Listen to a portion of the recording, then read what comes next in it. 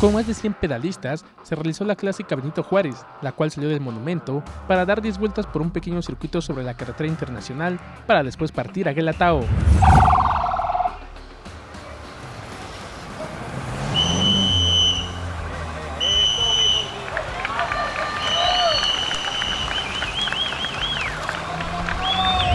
La salida se tuvo que cambiar debido a los trabajos del Metrobús que se realizan sobre la calzada Madero.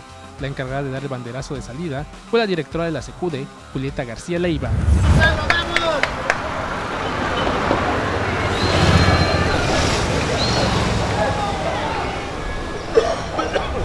Al culminar la última vuelta del circuito por la ciudad, los ciclistas comenzaron su aventura por la sierra para arribar a la tierra que vio nacer a Benito Juárez García.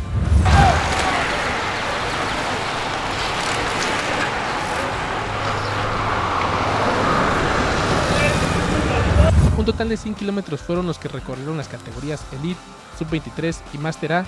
Para las mujeres, pesados, Master B y C, se tuvo un recorrido de 25 kilómetros.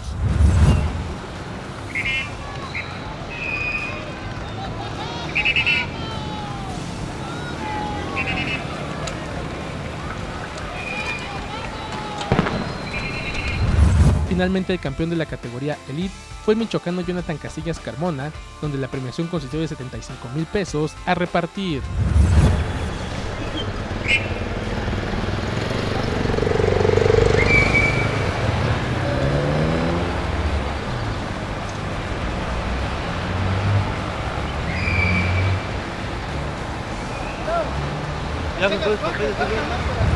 Con imágenes de Abad Lucrecio, para MBM Deportes, Jair Toledo.